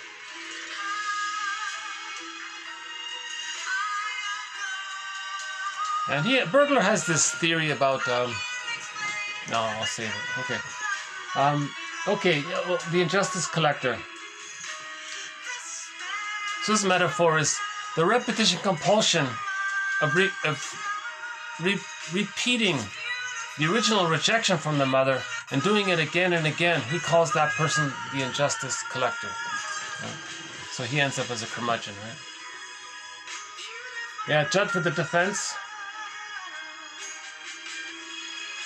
If a, if a child's unloved, he takes refuge in the grandiose part self. And his energy is to preserve that grandiose self, to feel important. All he wants to do is feel important, whatever it is. He just wants to feel important that he makes it happen. It's about him. He, he, he's lost um, touch with his true self. Yeah.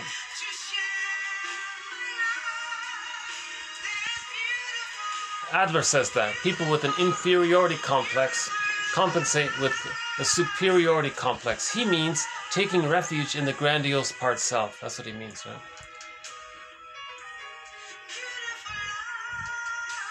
The group therapy one, he says he doesn't want to attend a group. He doesn't want to sit in a circle because it might remind him of his family scene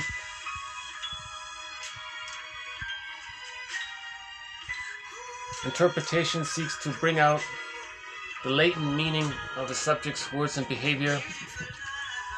Its aim is to reveal. Hold on. Why don't we, uh.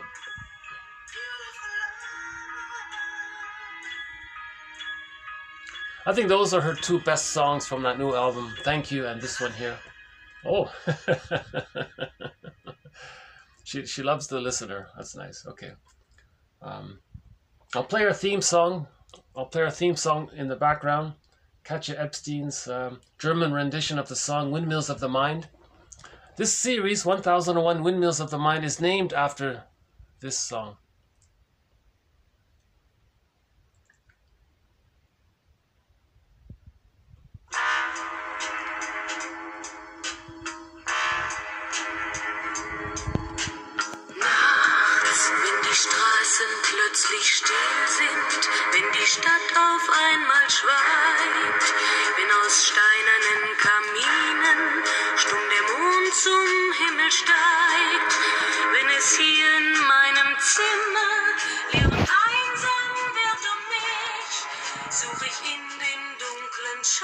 Can't you see that your subconscious attitude toward yourself is consciously directed at others?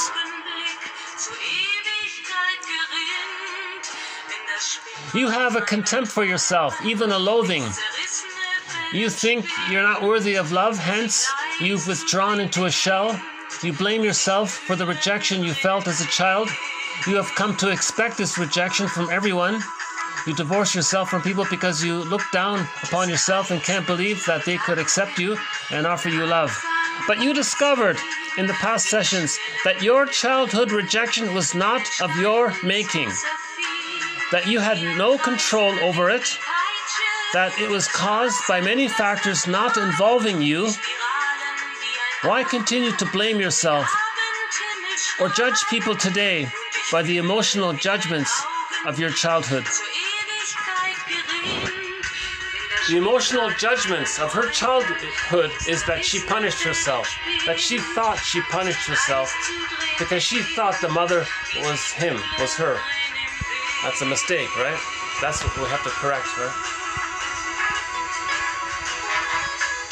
So we face our defense mechanisms around this.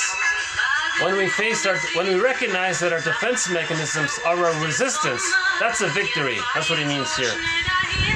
Interpretation seeks to bring out the latent meaning of a subject's words and behavior. Its aim is to reveal unconscious desires and the defensive conflicts linked to them. The goal is the lifting, the primary goal of interpretation is the lifting of resistance. The cure is not the result of premature recognition of whatever has been repressed, but occurs through a victory over the resistances of the source of the. It, it occurs through a victory over the resistances as the source of this ignorance. Okay. Right? The cure occurs through a victory over the resistances as the source of this ignorance. There it is. The cure, okay? The goal of 1001 Windmills of the Mind as well. It seeks to find a victory over the resistances, the defense awareness of the use of our defense mechanisms Okay? A victory over the resistances of the source, of the source, as the source of this ignorance. I think there's a typo in here. Again, the cure occurs through a victory over the resistances as the source of this ignorance. Right? Our ignorance Right? This false belief that we're guilty, right? Our ignorance, our unawareness of that. There's a resistance to it. If we, the cure is if we can overcome this resistance. There it is, right? Okay, again.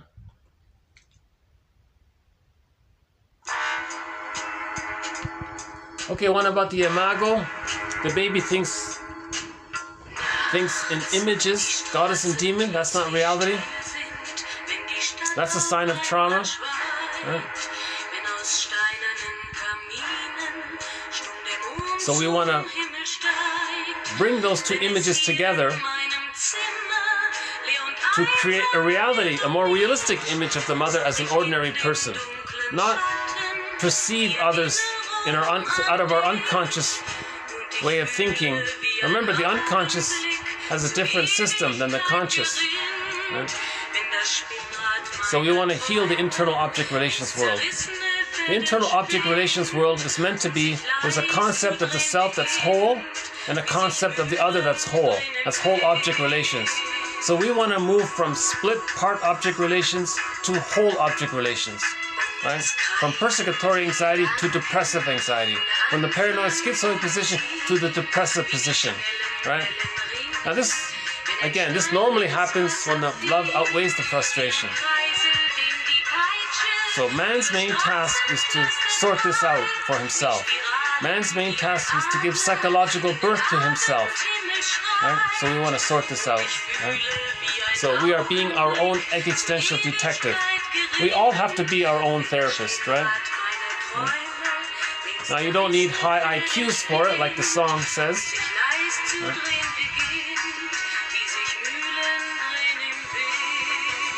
Projection is a mirror, right?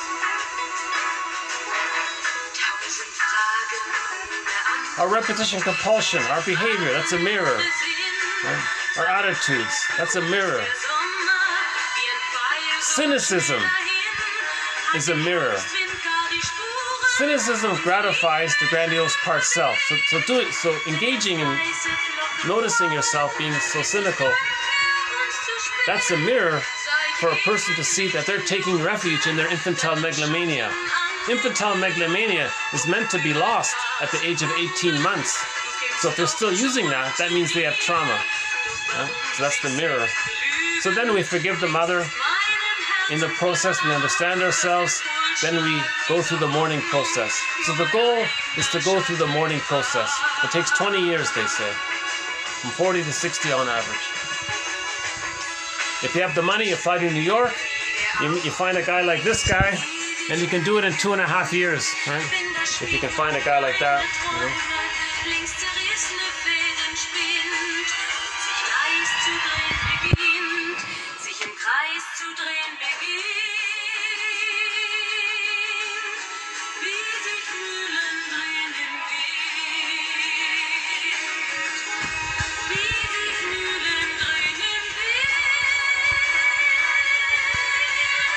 Okay, and we ended up with a couple of quotes to our thread on the psychology of religion. And winter solstice is coming up, right? So I'll end it here. So thanks very much. Um, we'll be adding more quotes to our different threads. Thanks again. Bye for now.